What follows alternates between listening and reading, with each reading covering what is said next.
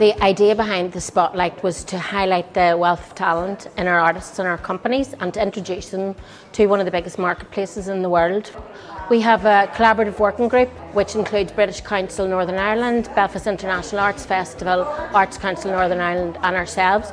The spotlight on theatre and dance from Northern Ireland gives our artists a huge opportunity. So it gives the pieces that they create sustainability and a future for the pieces beyond the here and now. This showcase is an opportunity for us to show the fantastic, vibrant variety of theatre and dance that we have here. It's a real opportunity for local artists and companies to network, to with a, a view to tour, uh, to reach an international audience, and we're delighted to be supporting it this year.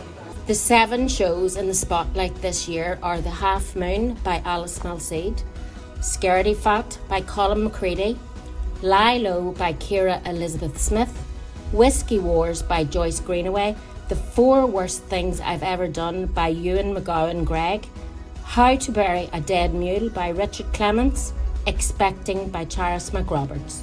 It is a real privilege that we have been asked to be part of Edinburgh Fringe Festival and Edinburgh Deaf Festival. We are so excited to meet other deaf artists and performers there who are very well known and have a good profile across the UK. It's great to go to the networking opportunities and basically to bring the show over and show people what the quality of art coming out of Ireland is at the minute.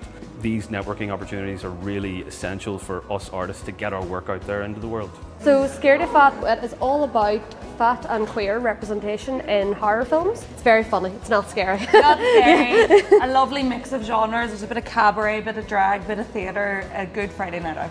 So we can't underestimate just how important these events are and we're delighted to be able to support it.